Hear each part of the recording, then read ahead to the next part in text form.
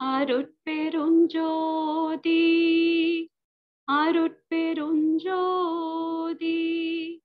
தனி பெருங்கருணை அருட்பெருஞ்சோதி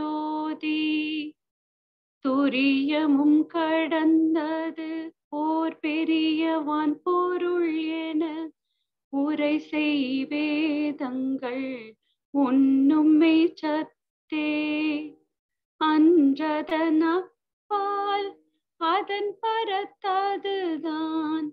என்றிட நிறைந்த இந்த நிச்சத்தே? என்றும் உள்ளதுவாய் எங்கும் ஓர் நிறைவாய் என்றும் விளங்கிடும் எந்த நிச்சத்தே? சக்திகள் பலவாய் சத் சித்தர்கள் பலவாய் இத்தகை விளங்கும் என் தனி சித்தே. தத்துவம் பலவாய் தத்துவி பலவாய் இத்தகை விளங்கும் என் தனி சித்தே. படிநிலை பலவாய் பதநிலை பலவாய் இடிவர விளங்கிடும் என் தனி சித்தே மூர்த்தர்கள் பலவாய் மூர்த்திகள் பலவாய் ஏற்பட விளக்கிடும் என் தனி சித்தே உயிர் வகை பலவாய் உடல் வகை பலவாய் இயலுற விளக்கிடும் என் தனி சித்தே அறிவவை பலவாய் அறிவன பலவாய் எரிவர விளக்கிடும் எந்த நிச்சித்தே அருட்பெருஞ்சோதி அருட்பெருஞ்சோதி தனி பெரும் கருணை. அருட்பெருஞ்சோதி. தனி பெரும் கருணை. அருட்பெருஞ்சோதி.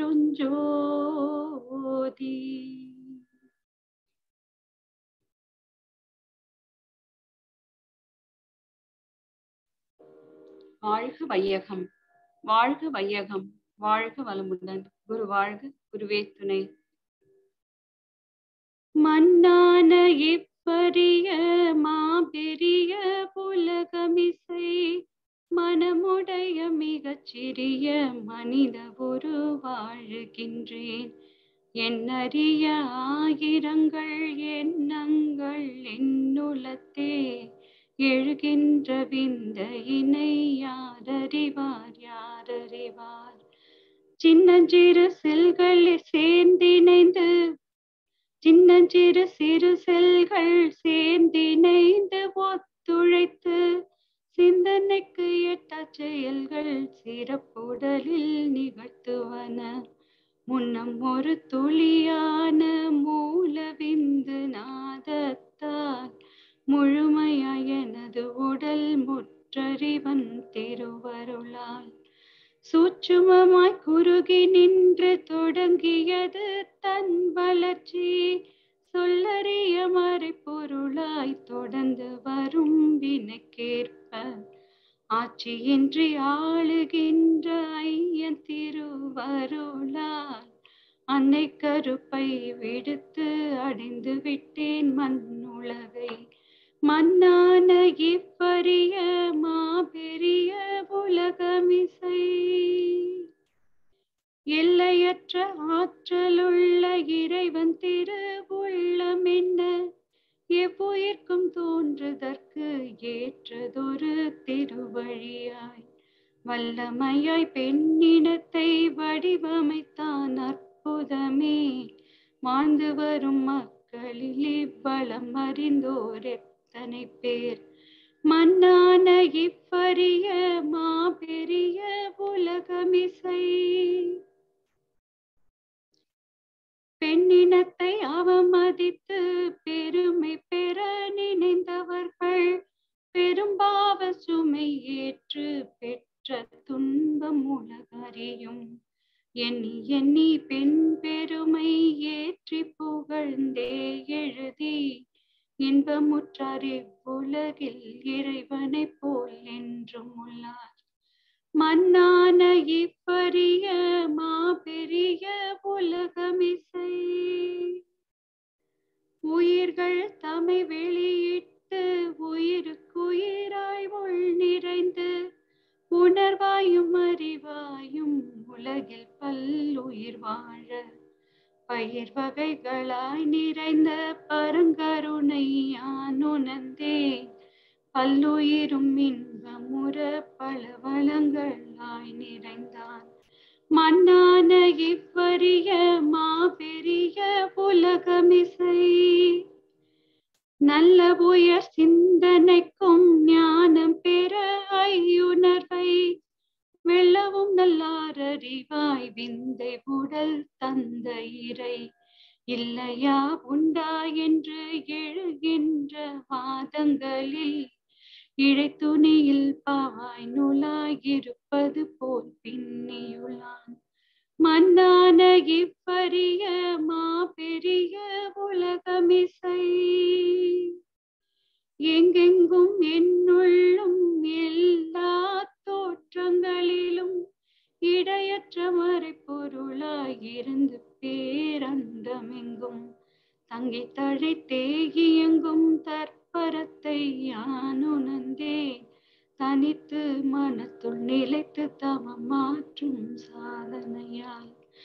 மன்னான இப்பரிய மாபெரிய உலகமிசை.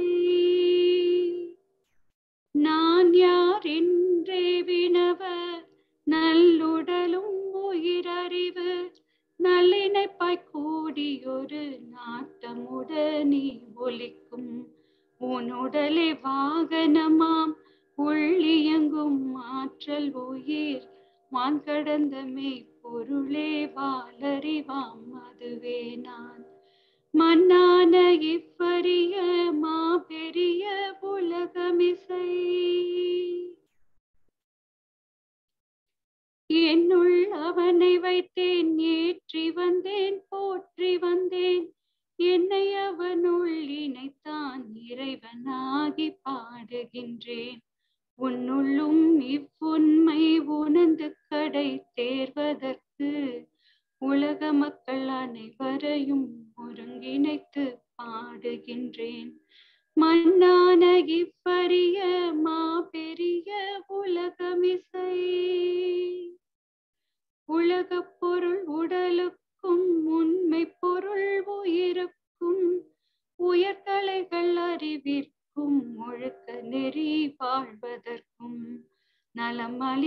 நான் உணர்ந்தேன் நடு நின்று வாழுகின்றேன். நாடனைத்தும் ஊடுருவி நல்லறிவன் தொண்டாற்றி நாடனைத்தும்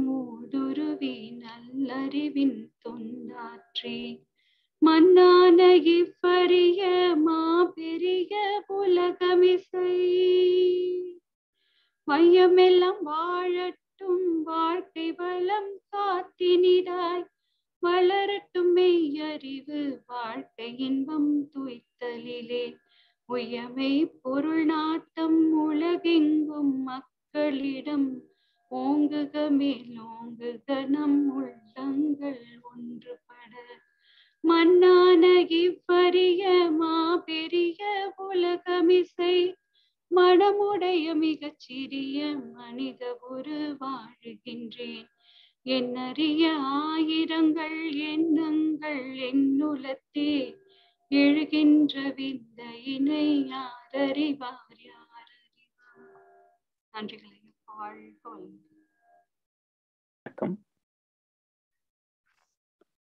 ஆதியெனும் பரம்பொருள் மெய்யெழுச்சி பெற்று அணுவென்ற உயிராகி அணுக்கள் கூடி மோதி இணைந்து இயங்குகின்ற நிலைமை கேட்ப மூலகங்கள் பலவாகி அவை இணைந்து பேடித்த அண்ட கோடிகளாய் மற்றும்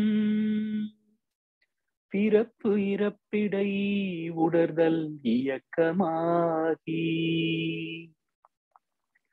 நீதி நெறி உணர் மாந்தராகி வாழும். நிலை உணர்ந்து தொண்டாற்றி இன்பம் காண்போ.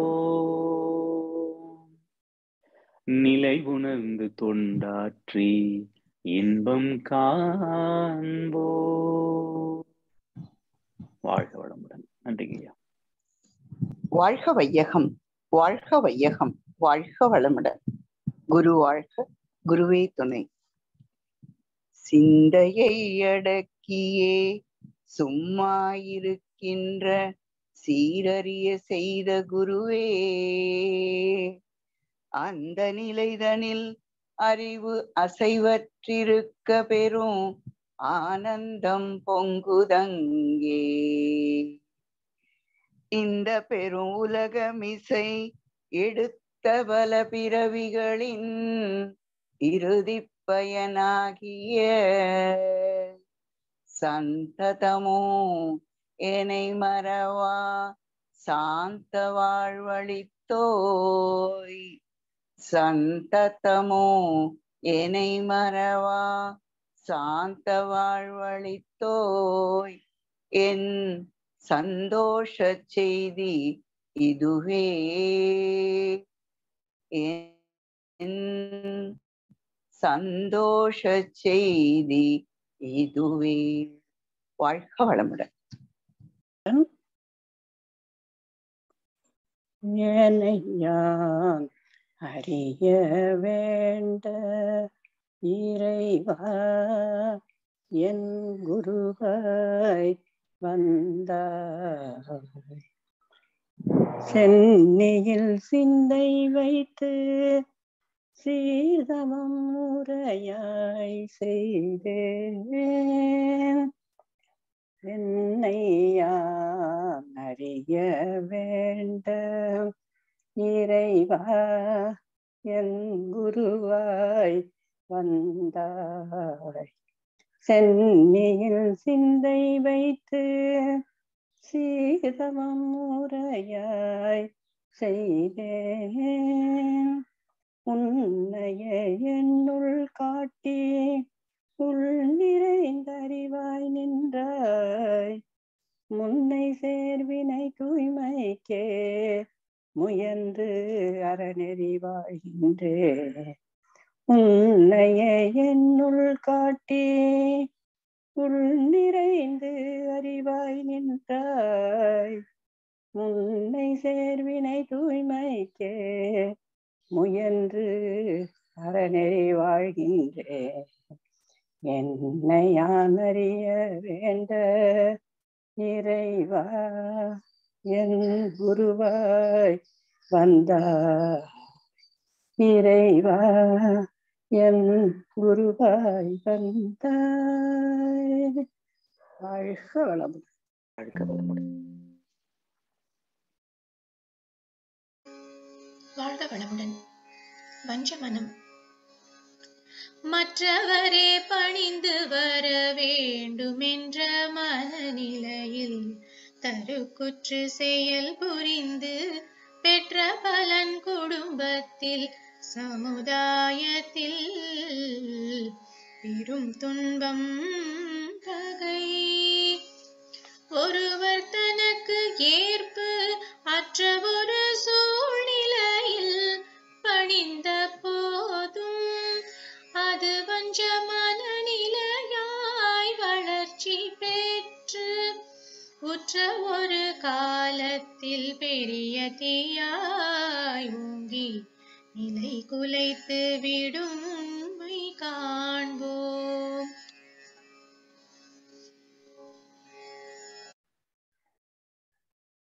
வாழ்க வளமுடன். வாழ்க வையகம். வாழ்க வையகம். வாழ்க வளமுடன். இன்று நாம் காணவிருக்கும் தலைப்பு ஞானக்கலைஞர் கவியிலிருந்து பஞ்சமனம் அப்படின்ற தலைப்பிலிருந்து அதுக்குள்ள விளக்கத்தை நம்ம பார்க்க போறோம். மனதை இனிமையாக அதாவது இனிமையாக இதமாக வைத்திருப்பவன் தான் மனிதன் என்று சுவாமிஜி நமக்கு சொல்லியிருக்காங்க. உலகில் மனம் இல்லாத மனிதரே இல்லை. மனதை பற்றி முழுமையாக அறிந்த மனிதரும் இல்லை. வாழ்க்கையில வாழ்க்கையின் விளைநிலம் மனம்தான். நாம் பயிர் செய்யும் விளைநிலம் நல்ல நிலமாக இருந்தால் அதில் பயிரிடப்படும் பயிர்களிலிருந்து நல்ல விளைச்சல் கிடைக்கும். விவசாயிகளுக்கு மகசூல் நன்கு கிடைத்து விவசாயிகளுக்கும் எதிர்பார்த்த பலனும் கிடைக்கும். இதனால் விவசாயத்தை நம்பி இருக்கின்ற விவசாயிகளின் வாழ்க்கை தரம் உயரும். அதுபோல்தான் மனம் நன்கு வளமானதாக இருந்தால் அந்த மனதிலிருந்து தோன்றும் எண்ணம் சொல் செயல் என்ற மூன்று தொழில்களும் சிறப்பாக இருக்கும். இதுல இப்ப நம்ம வந்து வஞ்சம் வஞ்ச மனம் அப்படின்னா எப்படின்றத நம்ம பாக்குறோம் வஞ்ச போய் இதெல்லாம் நல்ல மனம் இருந்தா இத்தனை பாசிட்டிவான விஷயங்கள் நமக்கு நடக்குது. அப்ப இது ஆப்போசிட்டா வஞ்ச மனம் இருந்தா எப்படி இருக்கும்? வஞ்சம் அப்படின்னா வஞ்சத்திலேயே மூணு விதமா அடங்கியிருக்கு. கபடு பொய் தந்திரம். அந்த வஞ்சத்துக்குள்ளேயே மூணு குணங்கள் அடங்கி இருக்குது கபடுனா எப்படி நடிச்சு மற்றவங்க கிட்ட வெளியில நல்ல நல்ல மாதிரி பேசுறது. ஆனா அவங்க மனசுல அந்த உண்மையான அன்பு இருக்காது. பொய்னா நம்ம தப்பிக்கணுன்றக்காக மற்றவங்கள மாட்டி விட்டுட்டு பொய் சொல்லிட்டு நம்ம தப்பிச்சுக்கிறது. தந்திரம் அப்படின்னா எப்படி ஒரு நாடகம் ஆடி அது அவரே பண்ணாத மாதிரி தந்திரமா அந்த செயலை செய்வாங்க. அப்ப அந்த வஞ்சத்துக்குள்ளேயே மூணு விஷயம் அடங்கி இருக்குது மகரிஷி அவர்கள் வந்து அதாவது வஞ்சம் வந்து என்ன சொல்றாங்க? அருட்தந்தை அவர்கள் சினம் இருப்பு அதாவது சினம் எப்படி இருப்பா இருக்குதோ அதுதான் வஞ்சமா மாறுது.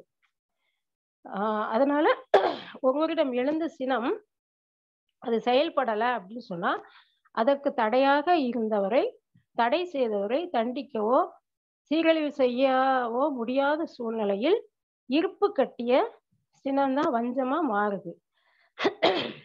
சினத்தினால் உடல் நலம் மனநலம் இரண்டுமே கெட்டு போகுது.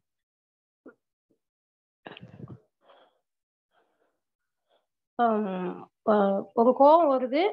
அந்த கோபத்தை மனசுல வச்சுட்டு இதுக்கு கட்டாயம் இதுக்கு ஒரு- நாளைக்கு உங்களுக்கு ஏதாவது நான் பண்ணுவேன் பாரு அப்படின்னு சொல்லி இருப்பு கட்டிய அந்த சினம் தான் வஞ்சம். சாமதி சொல்றாங்க பஞ்சத்தில் பாமரனும் பிழைத்து கொள்வான். பஞ்சத்தில் விஞ்ஞானியும் வீழ்ந்து விடுவான் அப்படின்னு சொல்றாங்க. ஒரு கஷ்டத்தை கூட ஒரு பாமரன் வந்து சமாளிச்சு வந்துடும் இன்னைக்கு சாப்பாடு இல்லைன்னா கூட நாளைக்கு எப்படியாவது அந்த நாளைக்கு அதை எப்படி சமாளிக்கணுன்றத முயற்சி பண்ணி அதுலேருந்து கூட சமாளிச்சு வந்துடுவான் ஆனால் அந்த வஞ்ச குணம் உள்ளவங்க எவ்வளோ மேலே உள்ள எவ்வளோ பெரிய சயின்டிஸ்டாக இருந்தால் கூட அவங்களால அதுலேருந்து ஜெயிக்க முடியாது. அது வந்து நமக்கு அருட்தந்தை அவர்கள் கொடுத்த ஒரு வாசகம். வஞ்ச குணம் மனதில் இருந்தால் எவ்வளவு பெரிய விஞ்ஞானியாக இருந்தாலும் அவன் அதிலிருந்து இறங்குற மாதிரி ஆயிடுது. வஞ்சம் என்பதற்கு ஒரு சிறந்த எடுத்துக்காட்டை நம்ம சொல்லணும் அப்படின்னு பாத்தீங்கன்னா மகாபாரதத்துல சகுனின்ற கேரக்டர் எல்லாருக்கும் ஓரளவு மகாபாரத கதை தெரியும். சகுனின்ற கேரக்டர் நம்ம எடுத்துக்கிட்டோம் அப்படின்னு சொன்னா தன்னுடைய தங்கையை வந்து ஒரு கண்ணு தெரியாத ஒரு அரசனுக்கு திருதராஷ்டிரனுக்கு பீஷ்மர் வந்து கல்யாணம் பண்ணி வச்சிடறாங்க அப்போ இவனுக்கு வந்து அதுல அதுதான் அவனோட அந்த கோவம் அந்த சினம் தான் அவனோட மனசுல வந்து வஞ்சமா மாறுது. அப்ப அவன் என்ன நினைக்கிறான் ஆரம்பத்துல இருந்தே பீஷ்மர் அவன் எடுத்தவனே திருதராஷ்டிரன் பழி வாங்கணும்னு கூட அவன் நினைக்கல. பீஷ்மரை தான் பழி வாங்கணும்னு அவன் நினைக்கிறான். அந்த பீஷ்மரை பழி வாங்கணுன்ற எண்ணத்துல அவன் எடுத்த ஒவ்வொரு ஸ்டெப்பும் பாத்தீங்கன்னா முழுக்க முழுக்க அந்த வஞ்சம்னு சொல்ற அந்த சொல்லுக்குள்ள மூணு மறைஞ்சிருக்குல்ல அது அத்தனையும் அவனோட கேரக்டருக்கு அது நமக்கு பொருந்தும். அந்த வஞ்ச எண்ணம் தன்னுடைய தங்கச்சி பிள்ளைங்க அதாவது திருதராஷ்டனோட பிள்ளைங்களும் அவனோட தம்பி பிள்ளைங்களும் சின்ன வயசுல இருந்தே வளரும் போதே திருதராஷ்டனோட பிள்ளைங்கிட்ட அதாவது துரியோதன கிட்ட என்ன சொல்லி சொல்லி வளர்க்குறான்னா மருமகனே இவங்க வந்து நமக்கு சத்துருக்கள். அதாவது இவங்க வந்து நமக்கு எதிரிங்க. இவங்க கிட்ட இப்படி இருக்கக்கூடாது அப்படி இருக்கக்கூடாது அப்படின்னு சொல்லி சொல்லி சொல்லி சொல்லியே வளர்க்குறான். அந்த வஞ்சத்தை அவ மனசுல ஏற்பட்ட வஞ்சத்தை அந்த கோவத்தை பசங்க கிட்ட சொல்லி சொல்லி சொல்லி வளர்க்குறான். சின்ன வயசுல இருந்தே. அப்போ எந்த ஒரு விஷயமே சின்ன வயசுல ஏற்படுற தாக்கம் கடைசி வரைக்கும் போகாதுன்னு சொல்லுவாங்க. அது மாதிரி இந்த அத்தனை பசங்க கிட்டையும் கொஞ்சம் ஜாலியா விளையாண்டா கூட இவன் உடனே ஏதாவது ஒண்ணு சொல்லி அவங்கள அதுல இருந்து பிரிச்சுக்குவோம் ஆனா பாண்டவங்கள் அப்படி கிடையாது. அவங்க வந்து இவங்க நம்ம பெரியப்பா பசங்க நம்மளோட அண்ணங்க தான் அப்படின்னு சொல்லி அவங்க வந்து அவங்க கிட்ட உள்ள அந்த அன்பு அந்த நல்ல குணம் இவங்க கிட்ட இல்லை. காரணம் சகுனி. சகுனியோட அக்கா தங்கச்சும் ரெண்டு பேருமே கண் குருடு. இங்க என்ன நடக்குது இவரோட நாடகம் என்னன்றது அவங்களால பார்க்கவும் முடியாது. ஒன்றும் பண்ண முடியாத ஒரு சூழ்நிலை. அப்போ இது இதுல ஆரம்பிச்ச அந்த விஷயம் லாஸ்ட்ல அந்த அவனுங்கிட்ட ஆரம்பிச்சு அவனோட அதாவது திருதராஷ்டிரனோட பசங்கிட்ட அதை ஏற்றி விட்டு திருதராஷ்டிரன் அவனோட தங்கச்சி ஒவ்வொரு நேரங்களையும் யாரும் அவங்க மேல பாசம் வரும்போதெல்லாம் அதை விலைக்கு விட்டுருவாரு.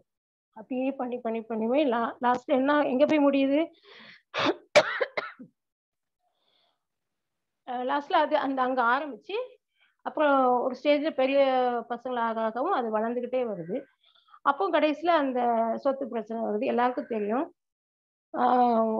ஒரு ஊசி மணி அளவு கூட நான் உனக்கு தரமாட்டேன் அப்படின்னு சொல்கிறான் ஆசை பேராசை எதுவுமே கொடுக்கூடாதுன்றானா இப்படியே அந்த வளர்ந்து வளர்ந்து வளர்ந்து அவங்களையும் எப்படிலாம் அந்த சொத்தை அபகரிக்கணுன்ற நாடகம் ஆடி எல்லாம் பண்ணி என்னென்ன கேடித்தனம் எல்லாம் பண்ண முடியுமோ அத்தனையும் பண்ணி அது வந்து ஒரு தனிநபர்கிட்ட ஆரம்பிச்ச ஒரு விஷயம் ஒரு குடும்பத்துல ஆரம்பிச்சு அப்புறம் அது சமுதாயமா அது விரிஞ்சு அதுக்கப்புறம் அது ஒரு மகாபாரத போருக்கே அது அடிப்படை காரணமாயிடுச்சு.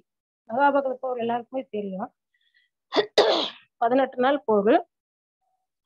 அப்போ அப்பவும் பாருங்க கடைசி நேரத்துல கூட கௌரவர்கள் எல்லாருமே பாண்டவர்கள் வந்து கொண்டுறாங்க அப்பவும் கடைசி அந்த பதினெட்டாவது நாள் போர்ல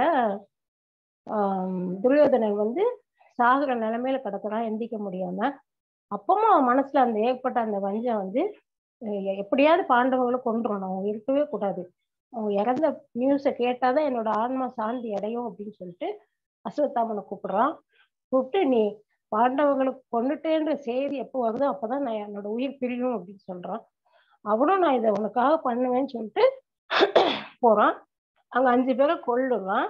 கொண்டுட்டு ஆஹ் துரியோதனன்ட்ட வந்து சொல்றான். நான் பாண்டவங்க கதையை முடிச்சுட்டேன். அவங்க அஞ்சு பேரும் இறந்துட்டாங்கன்னு சொன்னோடனே அவனோட ஆன்மா வந்து எழுத்துட்டு கிடந்த அந்த ஆன்மா வந்து பிரிஞ்சிச்சு. அவனோட ஆசையை நான் நிறைவேற்ற அவனும் அந்த வந்து கடைசி நிமிஷம் வரைக்கும் அந்த வஞ்ச எண்ணத்திலேயே அவன் இறந்துறான். ஆனா பாண்டவர்கள் சாகலை. இது வந்து இதுல இருந்து நமக்கு தெரிஞ்ச என்ன விஷயம்னா அந்த வஞ்ச குணம் வந்து எப்படி விரிஞ்சு விரிஞ்சு விரிஞ்சு விரிஞ்சு ஒரு ஆள்கிட்ட ஆரம்பிக்கிறது எப்படிலாம் போகுதுன்னு சொல்லி நமக்கு எல்லாருக்குமே நமக்கு தெரியும். ஆனா இப்போ வந்து நம்ம அருள்தந்தை அவர்கள் நமக்கு என்ன சொல்லியிருக்காங்க அப்படின்னு சொன்னா நம்மளுக்கு எளிமையாவே கொடுத்துட்டாங்க. அதாவது அந்த வஞ்ச மனத்தை நம்ம எப்படி ஒரு நல்ல மனசா வச்சுக்கலாம்? நம்ம மனசுல ஒரு எண்ணம் வரும்போது அது எப்படி பாசிட்டிவா ஆக்கிக்கலாம்? நம்ம வந்து ஒரு எண்ணம் வரும்போது ஒருத்தர் மேல ஒரு வெறுப்பு வருது. அவங்க அவங்க மேல தப்பாவே இருந்தா கூட அது நம்ம வந்து நம்ம செஞ்சது கரெக்டா கூட இருக்கலாம்.